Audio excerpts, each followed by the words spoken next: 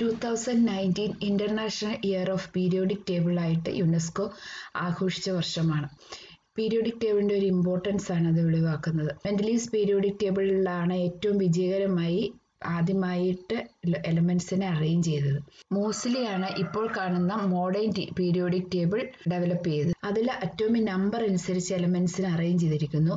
അതേപോലെ തന്നെ groups period group ഉണ്ട് പീരിയഡ് ഉണ്ട് ഗ്രൂപ്പ് എന്ന് പറഞ്ഞാൽ വെർട്ടിക്കൽ കോളംസ് ആയിട്ട് സിമിലർ ഇലക്ട്രോണിക് കോൺഫിഗറേഷനുള്ള എലമെൻസിനെയാണ് അറേഞ്ച് ചെയ്തിരിക്കുന്നത്.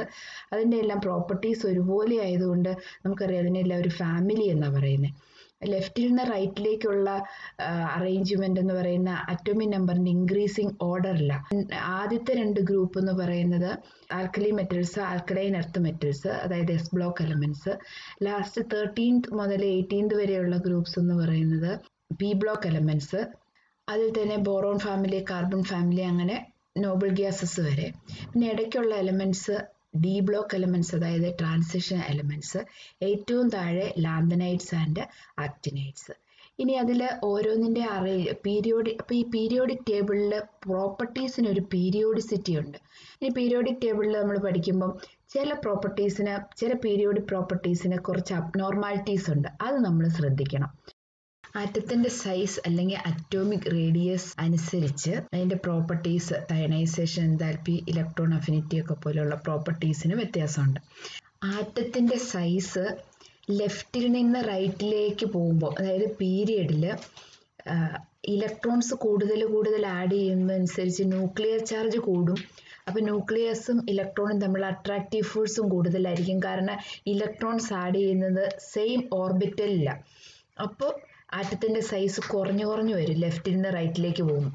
എന്നാൽ മുകളിൽ നിന്ന് താഴേക്ക് വരുന്തോറും ന്യൂക്ലിയർ ചാർജും ഇലക്ട്രോണിന്റെ നമ്പറും ഇൻക്രീസ് ചെയ്യുന്നുണ്ടെങ്കിലും പുതിയ പുതിയ ഷെല്ലുകളിലേക്കാണ് ഇലക്ട്രോൺസ് വരുന്നത് അപ്പോൾ ഓരോ ഷെല്ലും ഒരു സ്ക്രീൻ പോലെ ആക്ട് ചെയ്യും.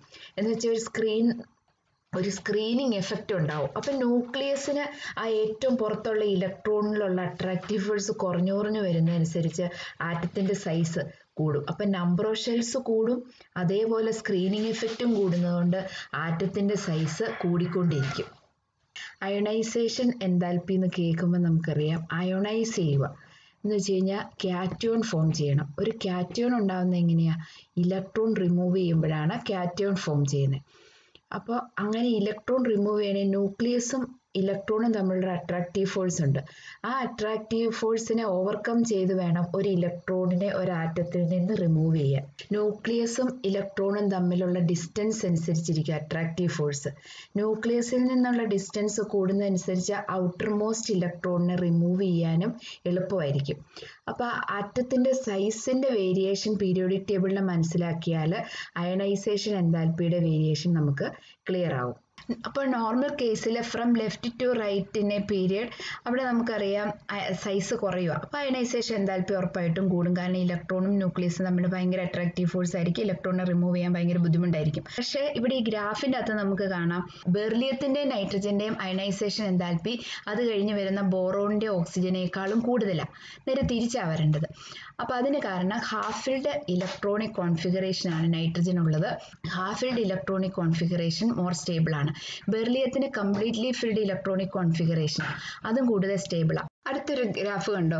Lithium sodium potassium rubidium caesium അങ്ങനെ ഒരു ഗ്രാഫ് അപ്പം നമുക്കറിയാം അങ്ങനെ ഒരു ഗ്രാഫ് വന്നിട്ട് നിങ്ങൾക്ക് അതിന്റെ വേരിയേഷൻ അത് എന്നാന്നൊക്കെ എല്ലാം ചോദിച്ചാൽ നിങ്ങൾക്കറിയാം ഗ്രൂപ്പിലെ വേരിയേഷൻ ആണ് അവിടെ പറയേണ്ടത്.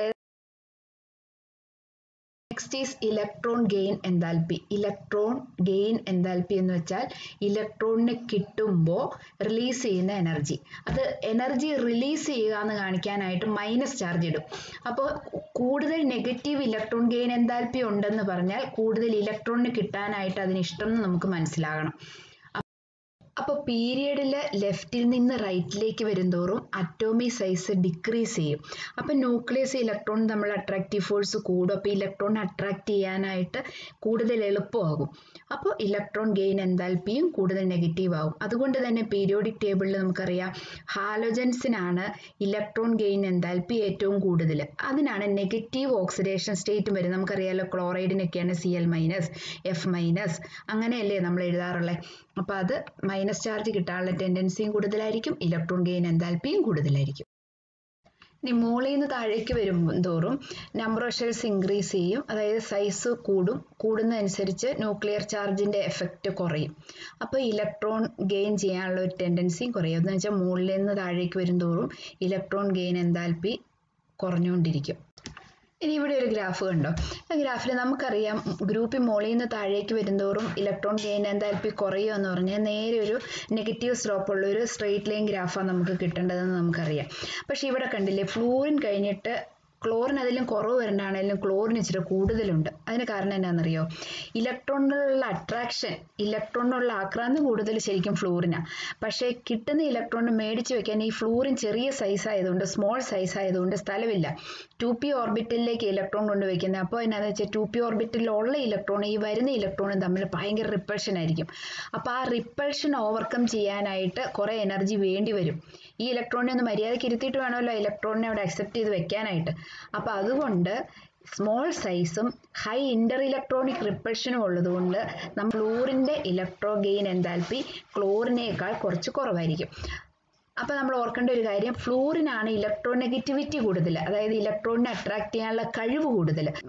ഫ്ലൂറിന് ഇലക്ട്രോൺ ഗെ ഇലക്ട്രോ നെഗറ്റിവിറ്റി കൂടുതലാണ് പക്ഷേ ഇലക്ട്രോൺ ഗെയിൻ എന്താൽപ്പി കുറവാണ് ക്ലോറിനേക്കാളും ഓർക്കണേ?